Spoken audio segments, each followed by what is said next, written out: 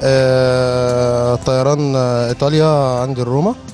فما كانش في دماغي أصلا إن أنا طالع كده أساسا. أنا حاجز الساعة 5 العصر. تمام؟ وأول طيارة كانت طالعة طيارة الساعة 5 الفجر. فطلعت فيها. فأول ما وصلنا هناك دخلنا المطار عادي جدا بدليل إن التأشيرة بتاعتنا مظبوطة وسليمة. فلما دخلنا لقيناهم حضرتك بيقولوا لنا لا ما ينفعوش تسافروا وأنتوا عددكم كبير مصريين ومش مصريين. فليه أنا خايف عليكم؟ مين اللي بيتكلم؟ أستاذ مجدي العيسي؟ الاستاذ مجدي العيسي آه، حضرتك آه، ده مدير آه، اللجنة الإيطالية. ده اللي عرفناه يعني. فليه وإزاي وكده؟ فقال لا هو كده ما ينفعش وما ينفعش تسافروا موقف لنا إيه الدنيا. ففين شرطة السياحة يا جماعة؟ تيجي تتكلم معانا. ما فيش شرطة السياحة؟ قال بعد ما الطيارة سافرت ابتدوا الناس تطلع تتكلم معانا يعني. الطيارة سافرت وعليها مع... عليها عدد بس كام أنا ما أعرفش. إحنا 37 واحد مرفوضين ومش كلنا مسيحيين. مش كلنا مسيحيين. أنا معايا كشف في معانا واحد مسلم في الموضوع. منعوني قال لك آه، انت ما مالكش سفر. انت طالع تهرب. طالع اهرب يا جماعة أنا رايح روسيا. قال لك لا ما تقطعش ترانزيت إيطاليا. قلت له ما أنا ده الميعاد اللي ناسبني أنا مش قاطع ترانزيت إيطاليا. قال لك لا أنا شاكك فيك. فيكم مش فيا لوحدي شاكك فيكم. لو هم مانعين الشركة الإيطالية مانعين إن أي حد مصري يطلع كانوا ما كانوا ما كانوش قطعوا لنا. إحنا قاطعين يوم ما كنا مسافرين الساعة 5 العصر. قاطعين الساعة 5 العصر ومشي وراكب ورحت عشان أركب الطيارة 5 الفجر.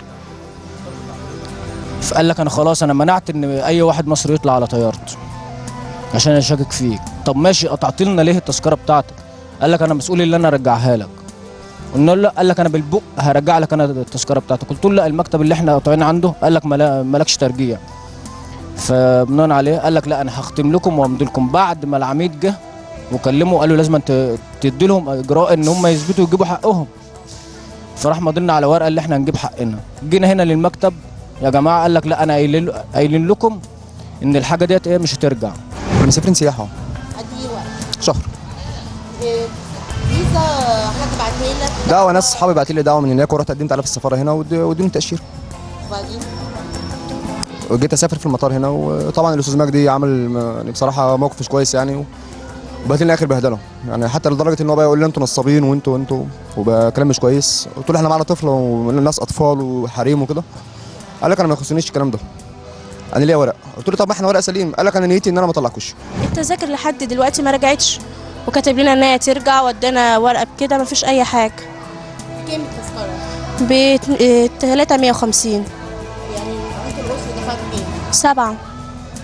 سبعة آلاف.